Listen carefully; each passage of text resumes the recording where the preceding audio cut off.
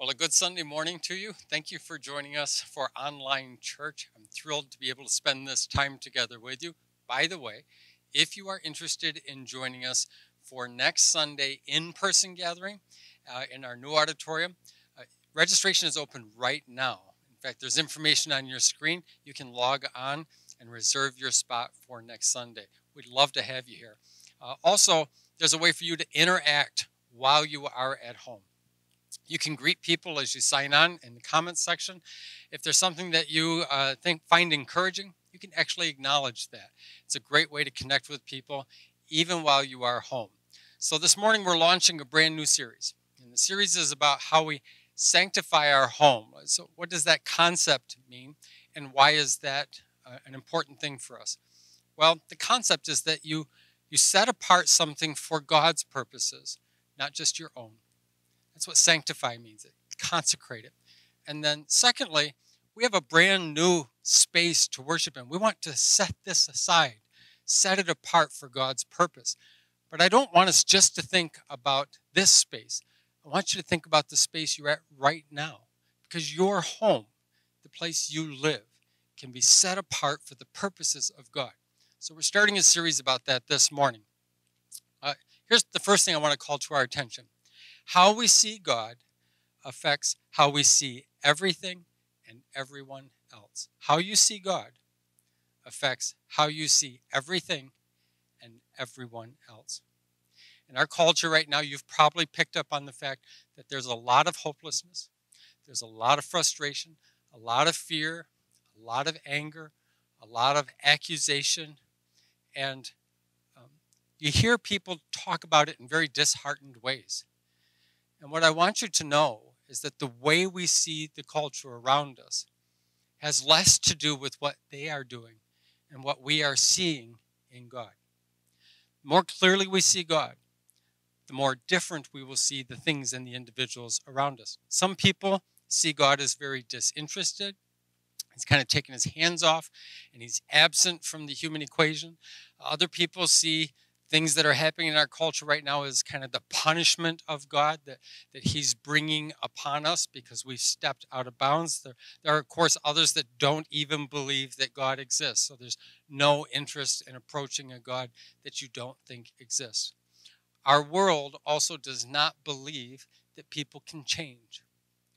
Our worst moment is, becomes our lifetime label. Your worst moment, the world actually thinks is who you really are, and everything else is pretending.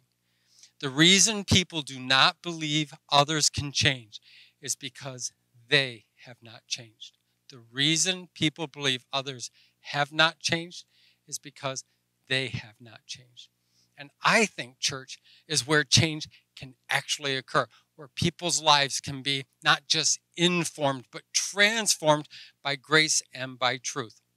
So we're going to look at a really powerful passage in Scripture where something is happening that's not dissimilar from what we're doing today.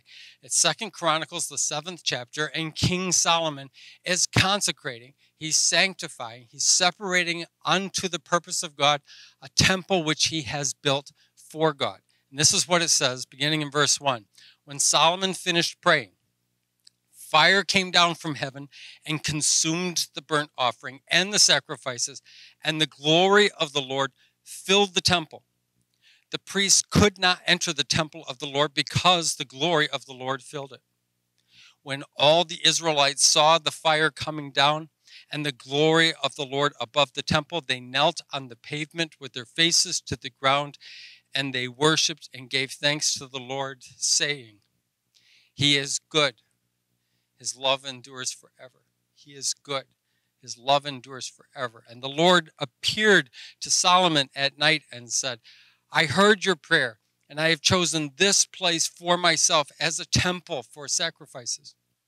When I shut up the heavens so that there is no rain, or command locusts to devour the land, or send a plague among my people, if my people, who are called by my name, will humble themselves and pray and seek my face and turn from their wicked ways. Then will I hear from heaven, and I will forgive their sin and will heal their land. Now my eyes will be open and my ears attentive to the prayers offered in this place. I have chosen and consecrated this temple so that my name may be there forever. My eyes and my heart will always be there. This is actually the second great undertaking of creating a sacred space. The first great undertaking was accomplished by Moses. He built a tabernacle. It was a, a portable temple. It was made out of fabric, and they could move wherever they were wandering through the wilderness.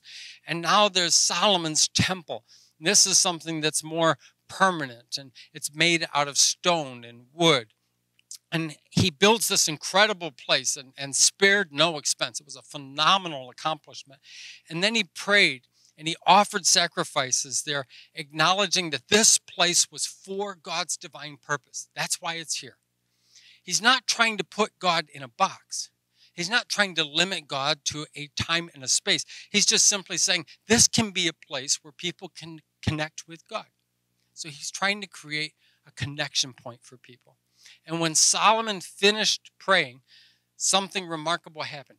Fire appeared in the temple, and it fell upon the sacrifice and began to consume it and God's glory filled the temple. And, and, some people might wonder, well, what does that mean? Well, it was something observable, but it wasn't just like a mystical mist. It's actually a sense of God's presence that was palpable, it felt tangible, and a release of God's blessing. People knew that God was there and that his intent was to be a blessing, to pour blessing into people's lives.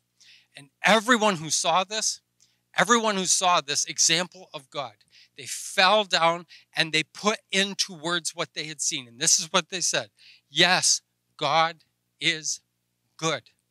His love never quits. And they just keep saying it. They get a vision of what God is like and they just fall on their face and they just keep repeating it. Yes, God is good. Yes, his love never quits. That beginning perspective, that lens through which you begin to see everything else changes how you see everything else. We are attempting to create a space for people to connect with God. That's why we built this expansion. That's why we added space so that more people could experience the grace of God for themselves. And we ask God to sanctify this space, to, to set this space apart for His purpose. And I want you to know that that is for where we gather. We want people to connect with God here, but it's also for where you live. That God does not reserve himself to just spaces that people congregate in on one day of the week. That your house can be set apart for the purpose of God. So, what does it mean to, to call something a house? Well, uh, first of all, we know it's an actual physical address. I know there are lots of people who believe that the true spirituality is actually absent of any geographical reality, that, that truly spiritual people don't show up at any one place or any one time. But Scripture actually doesn't call that or tell us that. And in fact, uh, community is a huge thing that Christianity and God talks about. And so it's something that you can't do without being together. And so there's a physical address. And in fact, when Moses was building that first tabernacle, God said, This is the space, this is the sanctuary where I will meet with people and I will give you commands. I will direct you from here. So it's a really powerful place. The second concept of house is not just a physical address, but it's also relationships. For example, uh, Paul is preaching the gospel to someone and, and he tells them this. He says, Today, uh, uh, salvation has come to this household. So the concept there is that it's relationships. It's not just an address, it's also the people who live there and are relationally connected with each other. And then the third thing is a house is a set of responsibilities because if you live in a physical address with people you have a relationship with, everybody has to carry some part of the responsibilities so the whole thing just doesn't get overrun with chaos or rot and, and decay. And so everyone takes on responsibilities. Uh, it talks about this in, in Hebrews uh, chapter 3, where it says, Moses was faithful in the house of God. It's talking about his responsibilities. And then a house is also the reach of your influence. It's absolutely astonishing to me how often we surrender to the idea that you have to have a certain amount of wealth or you have to have a significant title, you have to have something that other people will recognize as important, and that's how you gain your influence. But I can tell you that there are people who have no title and virtually no resource, sometimes not enough health to move out of their bed. And they can have incredible influence on people. I've officiated funerals where people had long term illnesses and watched doctors and, and nurses and family members and friends give testimony to a fact that a person who had nothing, including not enough health to stand and walk, was a huge influence in their life. And this idea that a house can also be an influence. Once again, not just where we gather, but also where you live. You can be an influence for the kingdom of God right where you are. Now, when the fire began to appear and then fall on the sacrifice, it would remind the Israelites of, of a very important part of their history, and that was when they were leaving the land of bondage in Egypt and they were beginning their journey towards a promised land. And uh, God actually guided them with a pillar of cloud and of fire. And this is a really interesting concept. It, it, would light the way for them to go, but would also illuminate their life together. Um, I've, I've seen quite a few examples of this just kind of going through uh, uh, uh, social media, and that is a number of people these nights are gathering around a little fire pit and, and, and throwing uh, some, some logs in there and, and lighting a fire.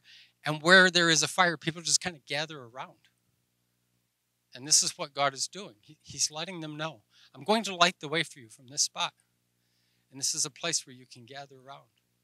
Something remarkable can happen here. People are making place for God. And God is taking his rightful place among them, which leads me to this point. For God to take his place in our home, we need to see who he really is. Until you see God for who he really is, you're not going to give him much space or place in your life or your home. But once you see him for who he is, you just find yourself saying it over and over again Yes, he is good. Yes, his love never stops. We need to see God for who he is. There's not a shortage of unflattering views of God in our world. He gets blamed for most of the things that go wrong. He doesn't get credit for hardly anything that goes right. There are people who see God as, as judgmental and unconcerned, and overbearing and limiting, like God is limiting my life in some way. And if that's your view of God, you're never going to welcome him into your life or into your home any part of any place that you go to. But if we desire a tangible expression of God, something that's more than just a history of someone else's experience, we begin by welcoming him into our home. God desires to draw near. God delights in connecting with us. God takes pleasure in releasing the resources of heaven into our lives. This is what I want you to hear. The reluctance on a connection with God is never on God's part, it's always on our part. He pursues us. He takes delight in connecting with us. He takes delight in spending time with us. He takes delight in blessing us and pouring the resources of heaven into us. So, to sanctify our home, we must overcome our barriers to intimacy with God. And here's what I will tell you it's really easy to withhold any expression towards God because of our own sense of feeling silly or we're not good at it, or we're not worthy of it. And so we just kind of we, we just step back and withdraw. Remember, it's we who are reluctant, not God. But we can overcome that. The only use our world has for God in its broken state is to blame Him for something that's gone wrong. They literally call it an act of God when something so horrific goes wrong that you can't actually hold a person accountable for it. They call it an act of God. Or they ask him to damn something that frustrates them. This is how the world views God. Jesus came, this is what's fascinating, is he came to take the blame for all the sin upon himself. And Jesus bore the curse and the wrath of God while he was on the cross. But that's not all Jesus came to do. Jesus tells us in Luke 19, the Son of Man came to seek and to save the lost. Look at God. He's in pursuit mode. He's coming after us. He's seeking and saving those of us who are lost. And in John 10, he says, The thief comes to steal, to kill, and to destroy. But I have come that they may have life and have it to the full. Jesus has come to seek and to save. Jesus has come to recover and restore all that God intends for us. He's come to do more. Jesus has come to undo the things that are undoing us. He's come to, to connect us with his heavenly Father. He's come to release the resources of heaven into our lives. All we need to be is hungry and humble, to desire him and to welcome him. This is what makes the difference. So, worship is how we welcome God to meet with us. Let me say that again. Worship is how we welcome God to meet with us. Prayer is how we extend the blessings of heaven to the broken in our world. So, worship welcomes God to meet with us. Prayer helps us extend the blessings of God to others who are broken in our world. And here's what I want you to see we'll never see our world, our lives, or our homes the way God sees them until we change how we see God. This isn't a mind game, this isn't a trick, it isn't a delusion. It's not looking out the same window and just deciding to see something different. Once you see God for who He is, you see it differently. It has a real lasting impact on you. So, do you want to meet with God? Do you want the resources of heaven to flow into your life and extend to those individuals that you love and to the situations that you have responsibilities for? There's a couple things I'd recommend for you. By the way, I've actually seen people do this in public spaces, though it's a little harder to do right now, but I'm sure it'll happen again. Uh, maybe you go to a restaurant and you have some friends that are already there and they're waiting for you. And when you walk in, they notice you. And what do they do? They raise their hand and they want to get your attention. They're letting you know, I'm here. I'm here. And then they'll lift their voice to invite you over. I think that we can do that in worship. A lifted hand calls attention. I am here. A lifted voice extends an invitation. You're welcome to join me. And something remarkable begins to happen. Real transformation, real change begins to happen in our world, in our lives.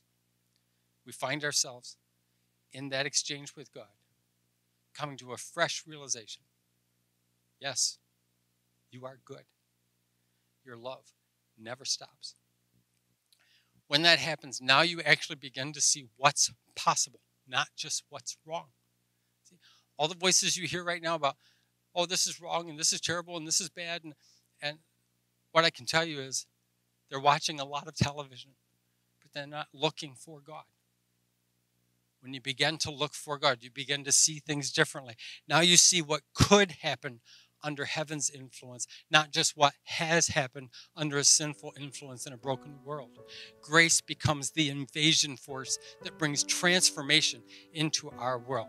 A hand raised, God, I am here, and a voice raised, you are welcome to join me. It can make all the difference in the world. And that's what I'm asking you to do. Even in your home right now, hand raised. God, I'm here, right here, right now. And I want your presence. I want your spirit to be in this place. I want every single person who has any connection with the place I live. I want every single one of them to see you for who you really are.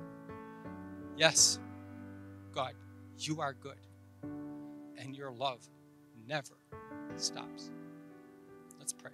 Uh, Father, it's hard to get some sights and sounds out of our minds. It's hard to see things the way you do and say things the way you would say them. You've called us to be seers and sayers, to see things that others don't see because we've been in contact with the God of heaven and earth, and to say things that others don't say because we've been given life and freedom in you. Would you help us wherever we go to welcome you into that space? so that every arena of our life can be a connection point for your grace. In Jesus' name, amen.